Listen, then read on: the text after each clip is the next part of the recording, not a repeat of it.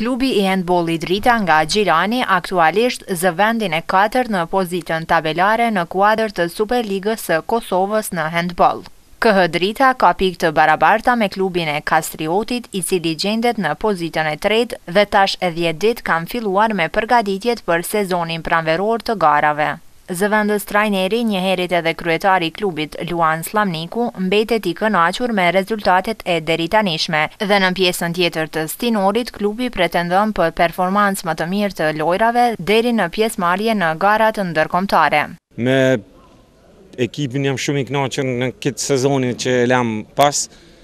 Mendoj që do të vazhdojmë edhe ma përpara. Pretendimet e tona janë me dalë në Evropë, me pozitën e parë ose dytë, dalmi edhe në Evropë, po e kena edhe plus aty kupën e Kosovës që veç me konë finalist i kupës, automatikisht dalmi edhe në Evropë. Sipas zëvendës trajnerit Luan Sllamniku, klubi në radhët e tij ka lojtarë mjaft cilësorë që premtojnë për të ardhmen e këtij sporti. Kurse me këtë përbërje të lojtarëve, sipas tij mund të pretendohet edhe për përfaqësim të hendbollit kosovar në garat ndërkombëtare në nivel klubesh. Kurse sa i përket kushteve të palestrës sportive Bashkim Selishta në Gjilan, aty ku rregullisht zhvillohen stërvitjet, zëvendës trajneri i bardhekaltërve Luan Sllamniku u shpreh i kënaqur dhe se projektligji për sponsorizim të klubeve i miratuar nga Kuvendi i Kosovës do t'i ndihmojë klubit që sipas tij funksionon me kufizime të ndjeshme financiare. Palestra është momentalisht osht e mirë, e pastër tash veç është një mungesë që s'e ka nxemjen. Kushtet e klubit momentalisht s'i kena të mira, klubin e maj vetun, me pak mjete financiare që m'i ndon komuna, po shumicën e mjeteve unë prej xhepit tem. Jap, veç këta djelmosha mos me i lonë udhëve, veç me punu këtu me ushtru. Hala nuk osht definitive krejt, por mendoj që ka me konë shumë mirë për sportista dhe për ekipe, për krejt. Mendoj që ka me konë një plus i madhë. E për ambiciet e klubit është i vetëdijshëm edhe golashënuesi më i mirë deri më tani, Rinor Selmani, i cili tha se rezultatet individuale nuk çojnë aq shumë peshë sa rezultatet e klubit. Mjaft mirë jemi përforcuar sivjet dhe Pregatitjet po shkojnë mirë.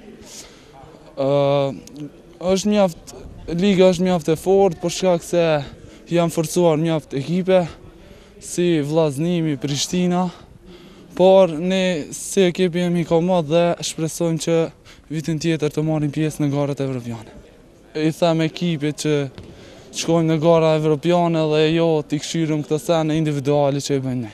Ndërsa Arbër Sylejmani, portier i klubit, para pak kohësh kishte një përvojë në hendbollin ndërkombëtar me përfaqësuesen e Kosovës dhe sipas tij hendbolli në Kosovë nuk dallon shumë nga ai ndërkombëtar, por kushtet teknike e financiare e bëjnë diferencën e klubeve. Nuk janë shumë shumë larg nga neve, po kushtet dhe profesionalizmi i tyre është është një hap shumë larg prej neve. Ambiciet ose synimet tona janë për vendin e dytë, e vend pozitë e cila na dërgon në në Evropë, në garat ndërkombëtare, por jemi edhe konkurrentë shumë serioz në garën për Kupën e Kosovës, të cilën do të luftojmë me, me shumë mund dhe do të mundohemi të japim gjithçka nga vetja për klubin tonë, për qytetin tonë. Aktualisht në ombrellën e klubit të hendbollit Drita funksionojnë ekipi i pionerëve, juniorëve, kadetëve, seniorët dhe ekipi i femrave.